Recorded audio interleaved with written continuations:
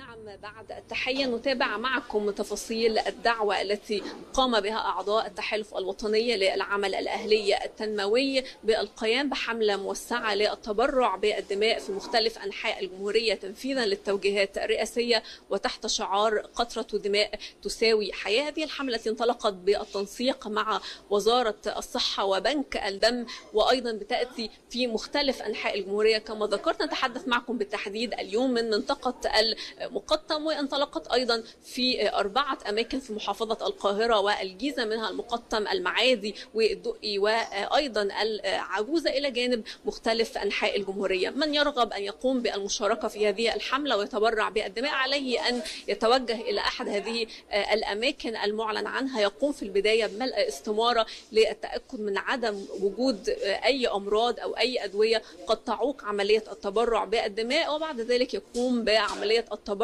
في أماكن مخصصة ومجهزة خصيصا لهذه العملية على أن تحفظ الدماء المتبرع بها في أماكن أيضا مجهزة تمهيدا لنقلها للجانب الفلسطيني.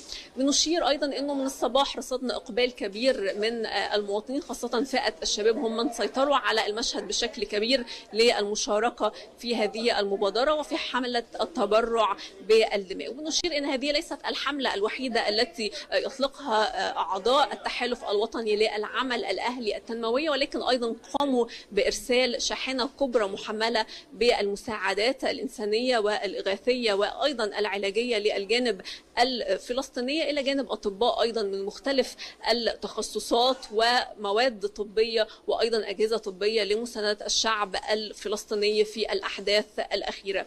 هذا أيضا بيأتي بالتزامن مع البيان الذي أصدرته وزارة الخارجية للتأكيد على استقبالها أي مساعدات من أي دولة أو من المنظمات الإقليمية والدولية الراغبة في تقديم المساعدة للشعب الفلسطيني على أن تقوم بإيصالها لمطار العريش الدولي تمهيدا لنقلها إلى الجانب الفلسطيني. إذا هو عمل مستمر من أيضا الدولة ومن مختلف منظمات المجتمع المدني لتقديم كل المساعدات الممكنة للشعب الفلسطيني الشقيق. أعود إليكم مرة أخرى في الاستوديو.